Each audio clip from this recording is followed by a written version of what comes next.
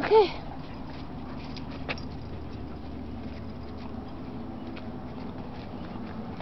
Now don't get too close. There you go.